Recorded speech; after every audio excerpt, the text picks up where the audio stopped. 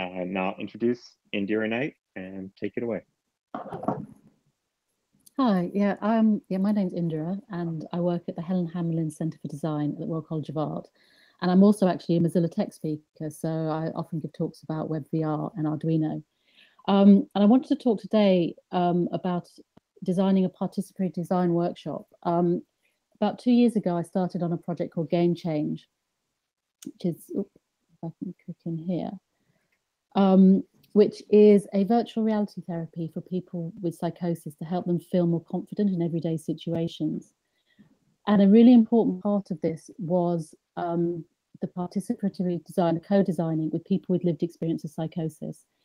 So I want to talk a bit about how that worked today. And I also thought it might be quite nice as it's in VR and we can move around a space, is to go through one of the workshops. So part of the co-design, we ran workshops around the UK with people with lived experience of psychosis. So I thought today it might be quite nice to just go through some of the workshop, how I designed the workshop, how it was maybe different from other workshops I designed, and then sort of do a almost like a role play of that workshop so just to go a bit about the project, this slide shows the people who were involved in the project. So we got funded by the National Institute of Health Research. I think it was about four million pounds. And the University of Oxford psychologists from there were um, heading this. So they've done work in virtual reality before for um, different mental health conditions and worked with people with psychosis. So they were leading it. Um, they created a spin-off company called Oxford VR, to build the VR. And we worked also closely with a company called the a foundation called the McPin Foundation. So they work with people with mental health issues to make sure they're involved in in the research into into that mental health. So so with this, um, they set up a lived experience advisory panel, and they may they they're still meeting because this project at the moment is in its second year. It's just starting the third year. So in the first year, it was the design and development of the project, and then um, the, the the R was actually built, and it's now in clinical trial. 432 people um, in England to see if the virtual reality can help. I'll go in more into what the virtuality is when I go into the bit of that's the actual workshop, but I to sort of say so it, it is a standalone therapy, um, and people are in different environments that they can try out and see if they can use different methods to control their anxiety. So I don't know if people know what psychosis is. I just thought I'd put a brief sort of definition. It's a mental health problem that causes people to perceive or interpret things differently from those around them. This might involve hallucinations or delusions. And psychosis often leads to social isolation. People feel um, anxious and worried about going outside for a number of reasons that um, and they use and this makes them socially isolated which then can cause other health problems as well. So it can sort of be the sort of spiral.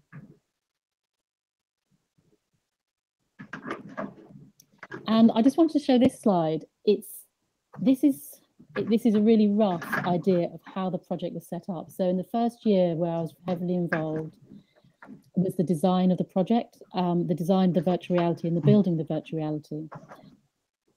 And as I say, Oxford VR built it, but we worked with people with lived experience psychosis in the design. And workshops was one part of that. We also had design sessions where we worked with people with lived experience, plus the psychologists and the developers and the designers ourselves. And we met almost weekly over a number of months.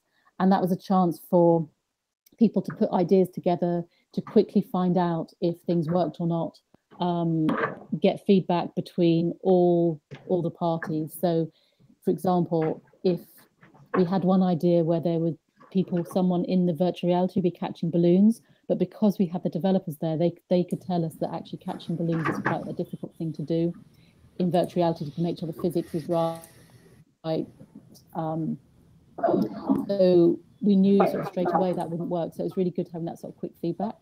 We had the lived experience advisory panel that's set up by the McPin Foundation, and they um, meet. They're still meeting. They meet a number of times each year, And in the first meeting, they helped us design the scenarios, the different environments that would be in the VR. They sort of said which ones were most important.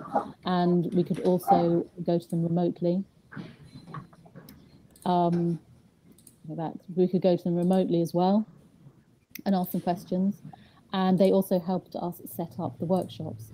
So it's actually the workshops that I wanted to talk about today was about how we went around designing the workshops. As I said, we had six well, in the end, seven workshops um, with people with lived experience of psychosis. Um, the reason these were slightly different from the other sessions was these really were any idea was taken seriously. There wasn't any no's. It's not like, oh, we can't do that in VR. Oh, no, that's not the psychology behind that. This was people's thoughts um, and views and the way they wanted it designed. So we could really get, theirs was the people with psychosis, theirs was the main voice in these sessions. And at the start of designing, um, one of the first things we did was we talked to the psychologists, we talked to the McPin Foundation, and we talked to the developers um, because we were all facilitators together in the workshop. And we did have quite a lot of facilitators in the workshop. And we always made sure we had psychologists there because some of the things that people might experience, because everyone did try VR, but they didn't have to, but everyone did try VR it could cause anxiety. It could. Um, so we always made sure we had psychologists there who work with people who have psychosis. And we also made sure that there was space outside the main area that people could go to if they need to break, as well as a, a, enough space in the room that they could bring support workers with them or they and they could bring uh, all family members if they wanted to. So we wanted to make sure this was a really safe space that people could say what they want. If they didn't want to say anything, that was fine. If they wanted, we had enough facilitators that if they wanted to talk to a facilitator and they could speak for them or write something down for them um, and express their views, that was available. So it really sort of people could get involved. Um, I don't know if you can see this on the screen in VR, but this was the um, this was the I wanted to talk through today the second workshop we did. So in the second workshop, we had a series of aims, and I suppose this is how I suppose anyone starts the design of any workshop. You work out what your aims are and what it is you want to find out. And again, this was often done by talking to the psychologists and also talking to developers to see what they needed for to be able to develop. And it also um, we looked at previous workshops. So we always looked at previous workshops and feedback from the LEAP and the design sessions to sort of decide what is it we need to know at this point. So at this particular workshop we were looking at a number of things. There were some questions. The therapy is inside vr everything takes place inside vr so it is standalone and there's a virtual coach that talks that walks you through um, and helps you decide which scenario you want to go into and gives any advice and gives support. And we were looking at what how that coach should look. We've done some previous work on what people thought would make a good coach. And now we're looking at if the coach had to be a freestanding person who was fully in the scene. So, you know, full body, um, you could interact with that person, or if people would be happy with the person being inside a, a screen. So either a phone would come up and the coach would be there to give support or an iPad or something like that. We also were asked to check if people would mind having audio. So that was one of the things we looked at. The other thing we we're looking at is though it didn't actually make it into the VR, but elements did, we were looking at having a space at the end that people could relax in, somewhere they could go to sort of what unwind before taking the headset off. Um, so this we were looking at what people found relaxing, and this we did over a number of sessions. Um, so that was that was one of the things we were looking at, and the last one was um, the overall flow. So when someone comes into VR, how does it feel? Where do they go? Um, how do they choose a room to go to? What feels good in VR? What doesn't? So we sort of had those aims at the beginning. And I don't know if you can see this, but this is just part of then I write an agenda. So I just made an agenda of what we'd be doing, what the activity would be, what the um, materials that I needed to create would be. And I think um, most of the time I over created materials. I had a lot more materials than I needed. And this meant there could be flexibility in the workshop um, because some things worked and some things didn't. And you couldn't always tell until you got there. You wouldn't necessarily know the space you're in you got there. Um, so I sort of over designed in a way and had lots of materials that I could use if needed. So once that was all set up, we then went to the different places in England. And from this point, I, this is actually the bit where I want it to be, I want to give you a taste of what the workshop was like.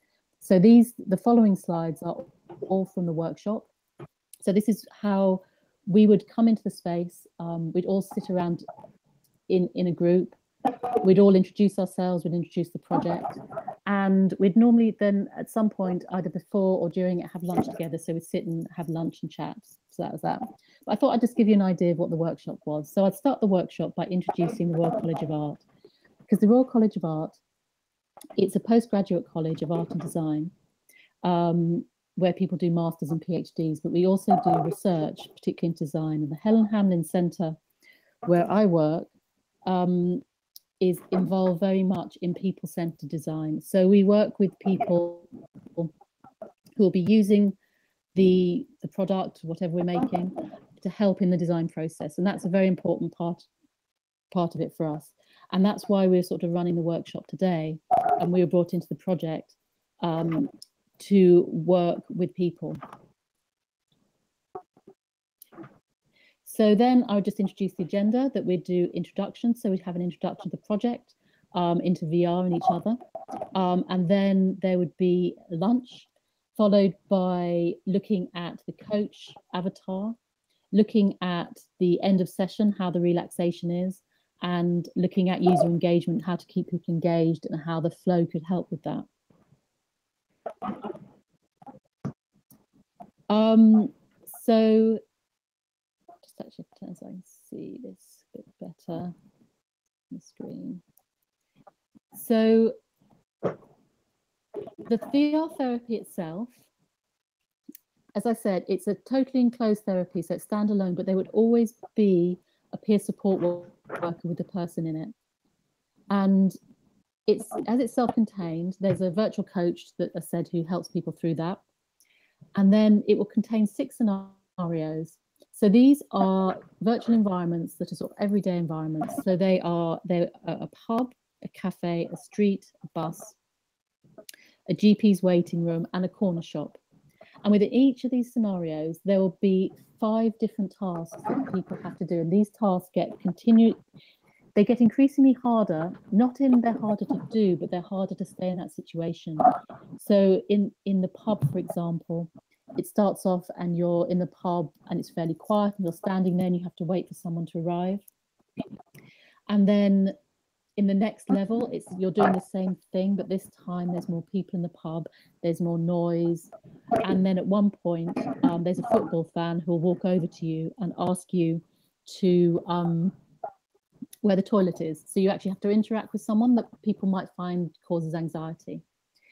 Um, the, the sessions themselves, when people are in the therapy sessions, we imagine they'd be about um, 30 minutes long.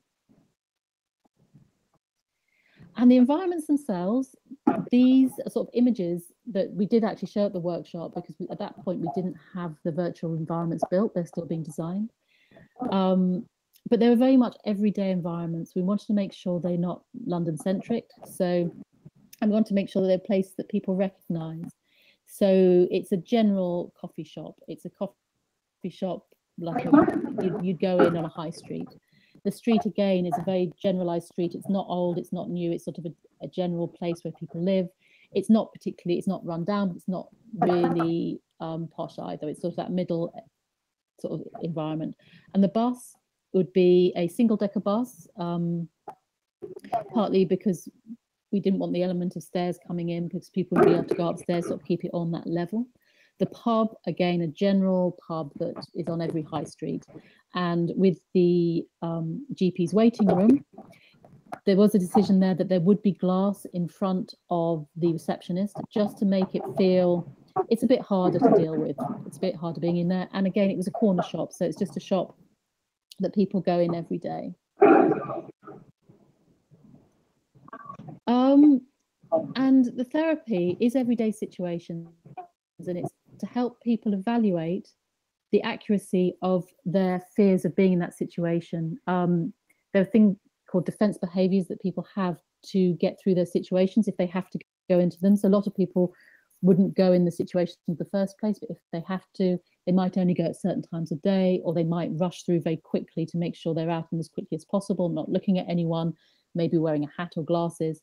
So this is to evaluate doing something differently and seeing if that makes you feel less anxious um, and sort of see if the accuracy of the fears and by doing something if you can sort of lower those fears and realize that outside the general world is a safe enough place to be in. And what we're looking at today is people keeping presence in vr so once they're in that environment they really feel that they're there. How can we achieve that? Um, the engagement that people feel engaged in the process and that it's easy to use so that people um, feel that they, yeah, they can easily know what they need to do and the technology isn't hindering them. Um, and so then it gives sort of an idea of, of what the session is about, to develop ideas for the end session, to find out how people feel. They're presented in different ways and um, how the flow of the application could be made better. So those are the workshop aims. And these were, I say, this is a slide from the workshop.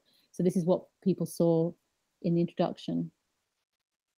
And then we got onto the workshop activities, and that's something I'd like to try today. I mean, I know we're not in a workshop and we haven't got post-it notes um, and things like that, but I have put around this room, you can see a number of different things. So in this, everyone got the chance to try virtual reality, um, and everyone actually did. So I've put over towards the balcony just a clip of some of the virtual reality they would have seen during this session. Say in this session, we didn't have any actual work from the developers because they're still working on that. So we created, a colleague of mine, Paul, created some prototypes. So up near the balcony, I've just got some film that you could press play and you can watch to get an idea of what people would have seen. Then over sort of opposite where the balcony is, there is a worksheet which has the images of the coach and for you to say strengths and weaknesses of a full length coach of it being in a um, in a box and voice only and then going to the slide to the other side of that there are some images of um, places to get ideas of whether people find those relaxing or not. And then there's also the example of the worksheet that I created for that, and also the questionnaire I created for that as well, to get an idea of what people find re relaxing. So what I did again in this, it would have been post-its in the actual workshop. People put on their post-its of um, what they found caused anxiety with those images and what they found relaxing within those images. And then outside on the balcony is a flow diagram, which I think I can show it through here. So yeah, so they're the two, um, the coach pictures, the environment, and then there was a flow diagram. So this is a flow diagram of the actual um, the the application of when people come in, what they see, what sort of branching there is at different points of it. And out on the balcony is a worksheet which looks at um, the ways that people might want to interact, what would make them want to stay in that space. Um, today we are hoping that you you know you can go around and have sort of 10 minutes to look at these. So imagine that you're in the workshop and you're doing these workshop activities. Because we don't have post-its, we're hoping you'd be able to draw on these we seem to be having a problem with the pen. I think maybe Thomas went through that. Um, and yeah. so I don't know if you explain what we thought instead is just go into the object, so the little wand, and find an object that you feel relates your feeling about that. So for the images, maybe go over, and if there's an area that you find makes you feel anxious, put some sort of image that you you feel um, represents that. Or if you think there's something that's nice, something that represents that. And so, because in the workshop we did get people to split into groups and do things separately. So I thought it'd be nice just to spend 10 minutes to have a look around, um, have a look at the workshop materials, and then just try filling them in with the means we have in VR at the moment.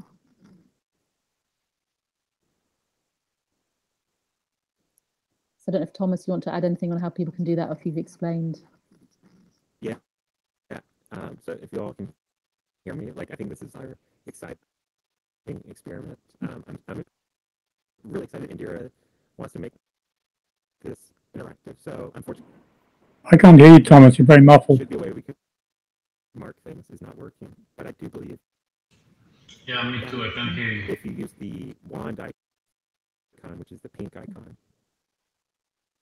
Yeah. you can actually choose objects to insert. Yeah, so that if, if people want to use the wand icon, yeah, to choose the objects. And if people want to go and have a look around now, and then we'll join back here in a, in a, Yeah, and we'll help in you. a few minutes help you. um, and Yeah, we'll take 10 minutes. We'll help you. yeah, and uh, have a look around and, and then we come back and I can sort of tell you what the reaction were to these during the workshop and what worked and what didn't.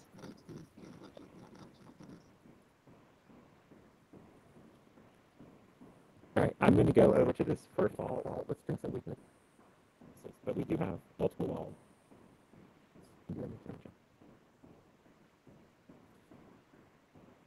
Yeah, I'm going to go over to the, um, the scene wall. So if anyone wants to come there and have a look at that.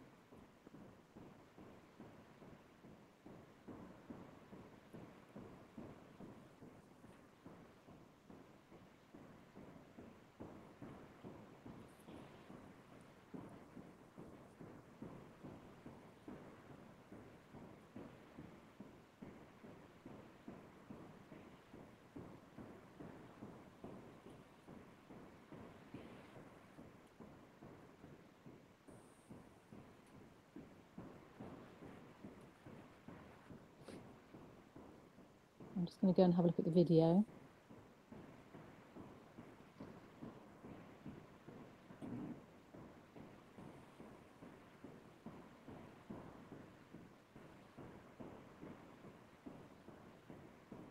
So this is a prototype video that people would have been inside in VR.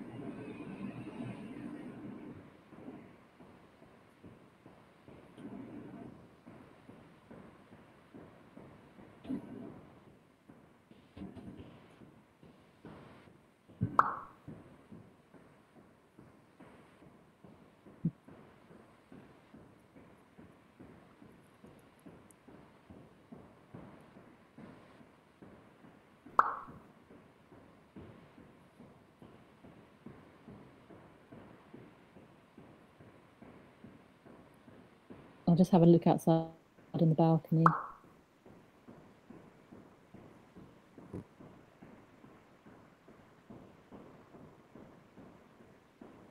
In the balcony space, people could again put post-its in. We had this these up as A4 sheets on the wall.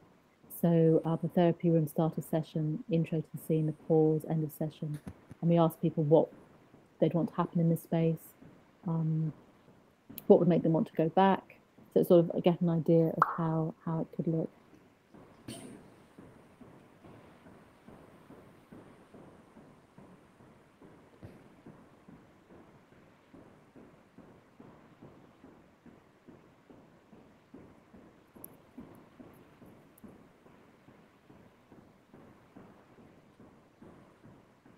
Um, so I put a couple objects over here.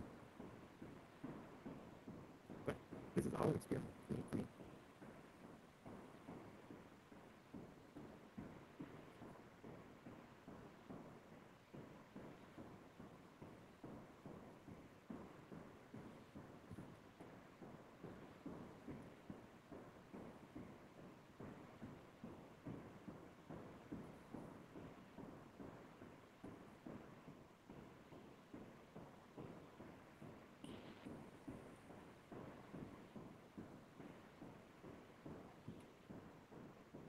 Oh, Mhm. oh, gosh.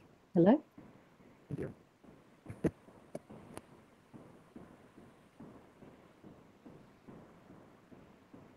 oh, oh, um, yeah. So I thought what was interesting for me about this exercise would, if, if I uh, was using, just using avatars to communicate my feedback, I'd be getting this in my fully coach avatar. I wanted to say it would be slow, like the clock. Yeah, but if I had like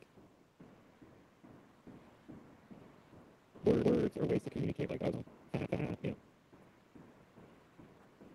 uh, other words, pick an object that I thought, I thought communicated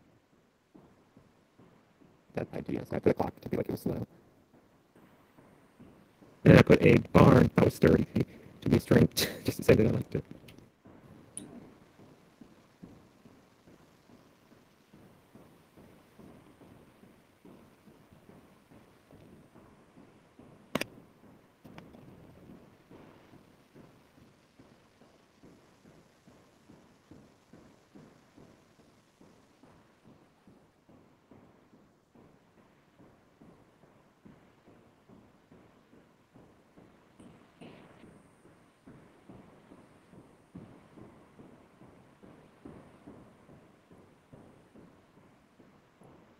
Go and have a look at the last wall.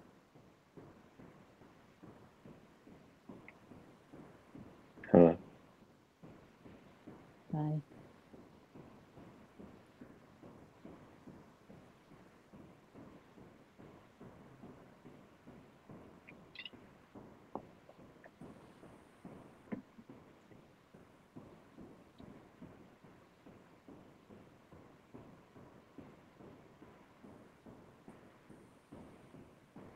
Um, can you hear me? Yeah, I can hear you. Oh, oh, okay. Yeah, I, I Yeah. went back on my desktop because I, I, I stopped being able to hear on my. Um, Yeah, you're clearer now as well. Okay. Yeah, so um, I just wanted to add that, like, I think, like, I love this idea. Um, the writing wand should should be working in Mozilla Hubs, which we were thinking maybe like to be able to tick or like put something underneath the strengths or weaknesses. Um, Oh, but I no, thought it was we go cool again. idea to add. I'm back out on the sea. Oh no. Hello. Oh. Hello. Oh, you're out in the Welcome sea. back. Oh, We hello. help Sorry. back. We can guide you back. This is utterly bizarre. Sorry, guys. I didn't realize my ma- my mic was uh, was over. There's a strange feeling when you end up over the water and it's just there. and Yes, you- yeah, it it's, it's interesting. It's quite interesting though. I quite like it. Right, right. I just thought everyone was standing there looking at me, and I was like stuck out in the lake. My keyboard went all wonky as well. Oh no! Oh no! We didn't see you at all. Yeah. We, we didn't notice. Anyway. when you're there. Nice to hear you, Indira. And sorry, Thomas. Yeah. great. Yeah, no, thank you. Thank you for being here. Um, no, and like we said, this is all an experiment. So I was really happy that Indira wanted to do this because we're we're trying to learn how to use these environments and then, you know, participate. So we want your feedback and like I already have feedback from what I was trying to do. Um, but I thought it was really interesting to be able to use the space. Like we don't want to just have people come here and watch a presentation. We want to do interactivity and like we want to figure out how to do that. So Mhm. I'm excited. Great stuff. Will do. I, I I will comment for sure on the whole thing after. Yep. Great. So I think I'll go Is back. So to- are we looking at this wall or are we looking at like, do we specific want to like do you want to like go back to your Hmm. presentation or Yeah, do you want to I can go back to the presentation and then people can always come and have a look at these after. So it's basically to say you could have a look and see, get an idea of what it was like to be in that workshop. Um, because then I wanted to have quickly talk about sort of what worked and what didn't and what I learned. Because what I found, because in a way we had the luxury of running seven workshops, I learned a lot over that time on what worked and what didn't. And this that you're seeing now that was out on the balcony didn't work. So I'm it's interesting. I had actually planned to have this worksheet with it to get people to really think about um, what would be in each part of it. It was done, I think partly it was done at the end of the day. So it was quite a long afternoon. People were tired. And it's also, I realized that I'd been thinking about the flow a lot. You know, you're designing a VR application, you're thinking about the people, the where people come in, where people branch off to a different environment, how they choose the environment, how they might pause it. But it's something that's quite abstract if you haven't been thinking about it for a while. So I think that didn't help. And the fact that by the end of the day, everyone was tired. So initially, what I wanted to do was people to have a brainstorm exactly like the one on the balcony. So they would see that and they would put ideas and then work in pairs to come up with how um, how that actually might work and then fill out another worksheet. But in the end, though I say it didn't work, it didn't work how I planned, but people did come up with ideas for the one on the balcony. They did put things on post-its on walls and some really good ideas came out of it, particularly around the pause and what it might be like. So the idea with the pause was if you're really anxious in VR, instead of taking the headset off and coming back to your action environment, you still stay in virtual reality. And again, they weren't used um, in the therapy in the end, but it was just interesting to see some of the ideas that people came up with to do that, of whether it's it's a something that just freezes the environment, so you're still in the same environment, but everything stops, whether sound comes down slowly, um, or whether it goes to complete darkness and you sort of get sort of like this complete break from what you're seeing. So while the workshop activity didn't work, some good ideas came out of it and made me realize again how I needed to maybe develop the material slightly differently. Um, but the other two work quite well. So looking at the spaces that made people feel anxious or calm um, work. So I, again, I think next time I did it, I thought about the pictures I'd chosen and especially from the comments coming back, added different sort of would make different pictures. I wanted to make different pictures, and in other ways we talked about different environments. Um, but this, with people putting up post-its on what they find um, relaxing or not, gave really good feedback into things that I would find relaxing. Other people might find would make them feel vulnerable, particularly if the space was too open, or there could be people hiding behind things. And then this worksheet worked well just to find out a general view on what it, relaxing environments would have in them, the colors, uh, people getting to draw them. That worked really well. And again, though we didn't have an end space that people could relax in, a lot of the work we did on this did influence the coach's room. So when someone first comes into the environment, they go into a room that's different from all the other environments where the coach can introduce them and um, into the therapy and get them to choose a scenario. And at the end, they come back to that environment so the coach can sort of have a, you know, how did that go? How are you feeling now? Think about what you've learned through this. And that did from these uh, workshops that did influence what that environment looked like. And again, with the coach, the coach was was very interesting. Go back to the coach because we went for a full-bodied coach who is there. And while some people did like the idea of a coach in in some sort of technology, in a phone or in an iPad shaped thing, most people preferred that person was there with them. Um, and so that's what we went with. So that was really useful to know. And the LEAP went on to help with the general design of the coach in, in other sessions. Um, so, yeah, so really my conclusions from running this workshops and running the whole lot of them is how important it was to take from one to the next. And as I said before, to keep almost to have to be able to keep it really flexible. So the design, while they were always very set aims, and I tried to have everything quite organized for the day, I, I would be definitely be very flexible in how it was delivered. And if something wasn't working, on the spot, come up with a different way of doing it. So the one that's on the balcony of the flows, when I realized that the idea of get people pairing off didn't work, we actually just had a general conversation with people who still felt like being in that conversation and discuss their ideas. So it became far more just an informal chat after the brainstorming. Um, and throughout all the workshops, I kept them in, in this way.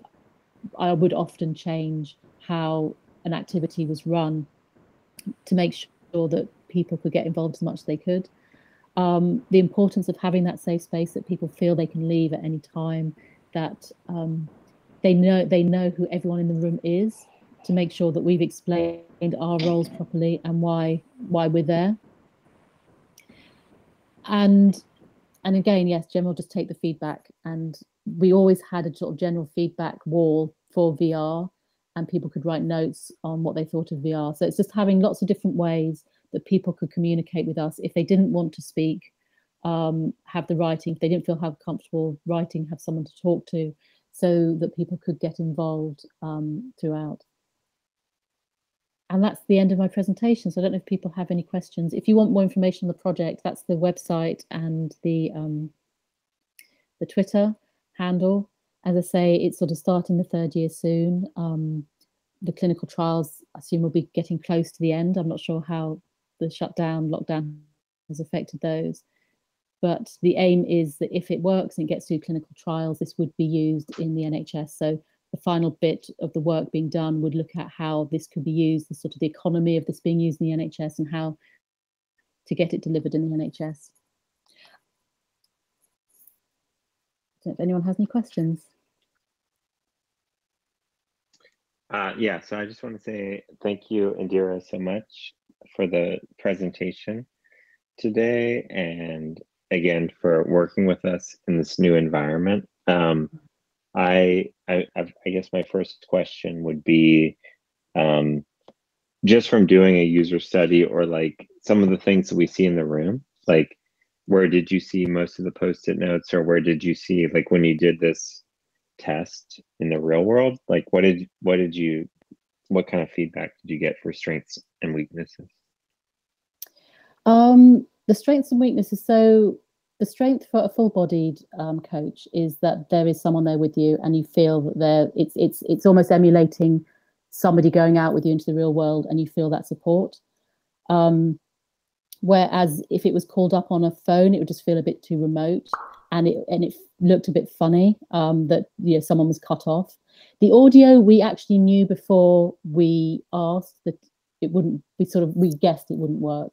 I wouldn't say we knew it because we hadn't asked people. We guessed it wouldn't work because one of the symptoms of psychosis is is hearing voices and having voices in your head. So actually having a disembodied voice as a coach, we felt wouldn't work. But we wanted to ask to see um, yeah. and find out, and and that was the general view. Yes, it wouldn't work. Um, there were some comments that people quite liked having a coach in maybe in a mobile thing that it, they felt more in control that they could bring that person in and out when they wanted to um, but the over, overwhelming response was that it felt more natural to have a full bodied person there.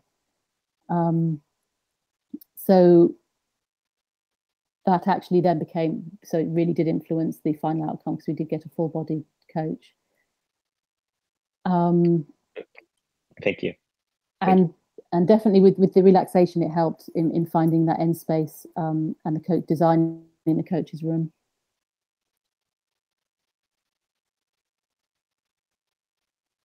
If anyone else has any questions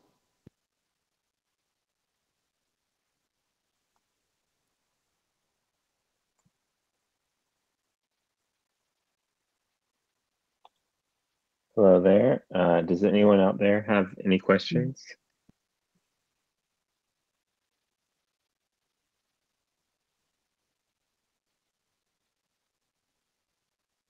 well then thank thank you for coming today um this is the first time i've well half presented in vr i started in vr and then came to the laptop it's been interesting to develop a talk for this and and th- i love this project so it's always you know good to to to be able to sort of talk about it so thank you for coming today